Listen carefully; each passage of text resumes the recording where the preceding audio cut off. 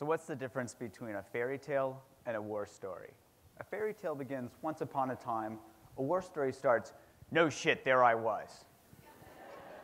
no shit, there I was, barreling down this mountain bike descent near Salida, Colorado. It was one of those descents where there's a whole lot of descent and not a lot of trail.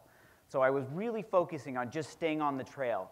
And at some point in that ride, there was no me, no bike, not even a trail. There just was. That's the best way I can describe it. It was effortless, it was selfless, it was immensely joyful. I wasn't there, yet there I was in one of the most awesome events of my life. When my sense of self came back online, it looked back on the trail and said, Wow, what was that? When can I do that again? This was flow. I was in the flow state, and it was delicious. Now, we've all been in flow at some point in our lives. Maybe we're playing sports, playing or listening to music, or even getting really immersed in a project. Let's say you get really immersed in a project, you look up, it's five hours later, it's dark outside, and your bladder's about to explode because you've been so focused on what you've been doing. Now, if this is so great, why don't we do this all the time? The answer we get in our own way. Here's an example. Remember Lolo Jones, an American hurdler favored to win the 2008 Beijing Olympics? What do you remember? She was in the lead at the ninth of 10 hurdles, and then what happened? In an interview with Time magazine, she said, I was just in this amazing rhythm, and at some point I knew I was winning the race. It wasn't like, oh, I'm winning the Olympic gold medal. It just seemed like another race. And then I started telling myself to make sure my legs were snapping out, so I overtried. That's when I hit the hurdle. Instead of letting herself do what she had trained to do, she got in her own way. She tripped herself up, literally. She tripped on the ninth of 10 hurdles and finished seventh. Now, this is an important point here. It's not that she was thinking, it's that she got caught up in thinking. As she said, I overtried. So, how often do you think we get in our own way? If this is any indication, there was a study at Harvard that found that 50% of the time we get caught up in regretting things from the past worrying about what we're going to do in the future. 50% of the time, even when we're daydreaming about that perfect Hawaiian vacation, we're no happier than when we're in the present moment. They concluded that a wandering mind is an unhappy mind. I'd amend this to, dude, get out of your own way. Flow is awesome. And it doesn't show up on drug tests. So, as Lolo and these Harvard researchers are showing us, getting caught up in self referential thinking can get us in our own way. Are there other ways that we can do this as well? Well, I'm an addiction psychiatrist at Yale, and my lab is looking at ways to help people quit smoking. So, what's a craving like? Cravings are great, right? What's a craving really feel like? Just think of that extra scoop of ice cream you wanted to have when you were on a diet, or maybe that car that was just outside of your price range. What does this really feel like?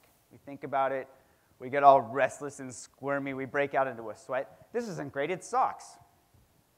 I had a smoker tell me that his cravings were so strong, he felt like his head would explode if he didn't smoke. So Lolo gets in her own way by getting caught up in thinking. These folks get in their own way by getting caught up in or resisting cravings. See the trend here? Getting caught up in, resisting. Flow is just being with all of this stuff. So we taught smokers mindfulness how to really pay attention and just be with their cravings. And what did they learn? The first thing they learned was these were just body sensations that were driving their lives. The next thing they learned was they could let these things come up, do their dance, and go away. They didn't have to get sucked in by them, they didn't have to resist them, and their heads didn't explode. And they quit smoking. In fact, in a randomized controlled trial, we found that this training was twice as good as the gold standard, twice as good just by getting out of your own way. We're taking this to the next level by using the exact technology that's distracting us from the present moment to help smokers stay in the present. That's right, iPhones. We can actually deliver this using videos and animation. We can even give people in vivo exercises to help them really ride out their cravings the moment they come up. We also want to see what's going on in people's brains when they're getting out of their own way. So here we brought in experienced meditators, folks who are really good at just being, to see what their brains would look like when they were meditating. So just to orient you, here's a brain. And here's a brain when you cut it down the middle, minus all the blood and guts. And here's a network of, bra- of brain regions called the default mode network. How do you think it got its name? Remember that 50% of the time when we're not present? In fact, Mark Raichle and his colleagues at Washington University in St. Louis serendipitously discovered this by giving people the simple task lay in the scanner and don't do anything in particular. So, what do we do when we don't do anything in particular? Can you relate? Well, it turns out that experienced meditators, these brain regions in the default mode network get really quiet when they're meditating. And this back part of the brain, called the posterior cingulate, this part that gets activated when we're craving, it gets activated when we're anxious, when we're getting in our own way, gets especially quiet during meditation. So, what can we learn from this? Well, I know Hollywood might give you a particular idea of what we scientists are like, but we're actually pretty reserved. And we get really conservative when it comes to finding something new. How do we know our stuff's any good? Maybe we miss something. So we turned to a new technique called real time fMRI neurofeedback, where we can actually take a picture of people's brains while they're meditating and see what it looks like from moment to moment to moment. So we did this with novice and experienced meditators. And we just had them lay in the scanner, meditate with their eyes open, and then check in with the graph to see how well their brain activity was corresponding to their experience. And they all reported a very good correspondence with increased activity in this posterior cingulate and getting in their own way, as well as decreased activity and being uh, in a meditative state. So here's an ex- example of a novice meditator. Here's an example of an experienced meditator. Now, I'm not very good at statistics, but even I can tell the difference between these two brains. Further, some of our experienced meditators were reporting spontaneously getting into flow during these sessions and seeing that this lined up with their posterior cingulates getting really, really quiet. But wait, there's more. Some of our novices were actually learning from this, even though we weren't telling them to. Here's an example. This novice said, Yes, the first run lined up with my experience, second run lined up with my experience, and in the third one, he said, Wait a minute, your neurofeedback thing doesn't work. Um, that thing was all red. The graph was all red, but I was thinking about my breath. What's the problem here? Thinking about my breath. He got caught up in thinking. In the very next run, only nine minutes after starting this experiment, his brain looked completely different. And he said, Oh, I get it. The physical sensation of the breath.